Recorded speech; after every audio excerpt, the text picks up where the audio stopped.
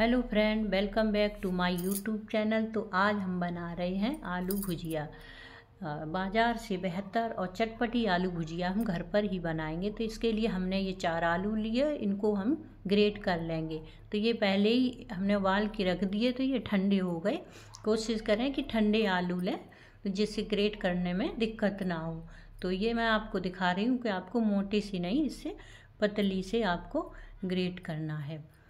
तो इधर इससे इससे आपको नहीं करना है, पतली वाली से आपको ग्रेट करना। तो इधर हमने आलू ग्रेट कर लिए हैं, इधर हमने एक चम्मच भर के हल्दी इसमें ऐड की है और एक चम्मच भर कर ये लाल मिर्च ऐड की है और एक चम्मच भर कर ये धनिया पाउडर और और एक चम्मच भर कर इसमें हमने ये कश्मीरी लाल मिर्च पाउडर ऐड किया है। मसाला आप अपनी इच्छा अनुसार कम ज़्यादा कर सकती हैं। तो एक चम्मच भर कर ये हमने यहाँ पर आमचूर पाउडर डाला है, आधी चम्मच और डाला था, क्योंकि इसमें नमकीन खट्टा ये भुजिया में आता है ना टेस्ट इसलिए। तो ये आधी चम्मच हमने इसमें हींग ऐड की है, स्वाद के लिए इसमें हींग ऐड की है और ये स्वाद अनुसार इसमें नमक ऐड किया है और इसमें काला नमक भी एक चम्मच ऐड किया है हमने।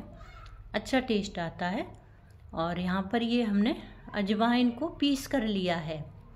तो इसको हम पीस कर इसमें डालेंगे।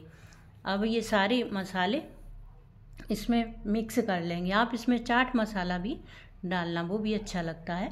और यहाँ पर हमने ये एक कटोरी भरकर बेसन लिया है। सारे मसाले अच्छे से मिक्स करके अब इसमें ऐसे धीरे धीरे से इसमें बेसन डालते रहेंगे, जितना भी लगेगा।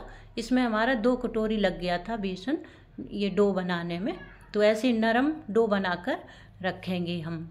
तो यहाँ पर हमने ये डो बना के रख दिया, ढक दिया है। इसको आध घंटे के लिए रेस्ट पर छोड़ देंगे। तो इधर हम तब तक ये अपनी मशीन को इधर तैयार कर लेंगे। ये हमने धुल के सुखा के रखी है ना, इसको अच्छे से ग्रीस कर लेंगे हाथों से ही। इसमें ऑयल लगा के अच्छे से इसको ग्रीस कर लेंगे, क्योंकि इसमें जब हम डो डालें ना तो फिर ये चिपके ना, अच्छे से निकल जाए हमारी भुजिया। इसके लिए आपको अच्छे से अपनी मशीन को ग्रीस करना है। तो फिर यहाँ पर ये डो हमारा भी, ये अच्छे से नर्म हो गया आध घंटा रेस्ट पे रखा था। तो इसको हम इस तरह से लंबा लंबा पेड़ा बना लेंगे इसमें, मशीन में डालने के लिए। तो ये हमने लंबा लंबा ऐसे पेड़ा इसका बना लिया। इसको हम मशीन में डालेंगे।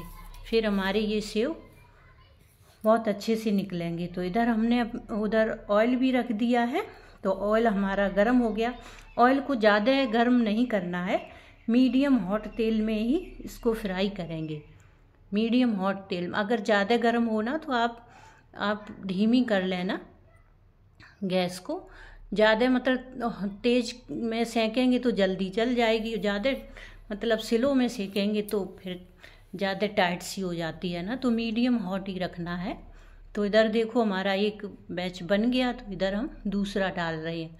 इसके ये गुच्छे बहुत अच्छे बनते हैं आप। हल्के हाथों से अच्छे से ये बनाएँ। अगर डो आपका अच्छा लग गया होगा ना तो बहुत अच्छी भुजिया बनकर तैयार होगी। घर पर बनाइए मतलब बहुत सारी, चार आलू से बहुत सारी भुजिया बनकर तैयार हो जाती है। वैसे भी भुजिया बहुत महँगी मिलती है। और तो दो कटोरी बेसन और चार आलू से ढेरों भुजिया तैयार तैयार हो जाती है। और पूरे फेस्टिवल, पूरी सीज़न मज़े से खाइए। और सबको पसंद आती है। बच्चे हों, बूढ़े हों, जवान हो, सबको भुजिया पसंद आती है। गेस्ट आए, उनको भी खिलाओ तो त्यौहार आ रहे हैं। होली पर आगे आगे से ही बना कर रख लो। तो फिर ये देखो, हमारी इतनी सारी बनकर तैयार हुई है। तो मैं आपको इसकी क्रंचनेस तोड़ के दिखा रही हूँ। तो ये देखो, बहुत अच्छी बनी हुई थी। आप भी ज़रूर बनाना इसको। और बनाकर खाना और सबको खिलाना। तो उम्मीद करती हूँ कि आपको ये हमारी रेसिपी अच्छी लगी होगी। तो अगर आपको ये हमारी रेसिपी अच्छी लगे तो प्लीज़ लाइक करो, सब्सक्राइब करो हमारे चैनल को और अपने ये रेसिपी अपने दोस्तों और रिश्तेदारों को शेयर करो। तो thanks for watching my YouTube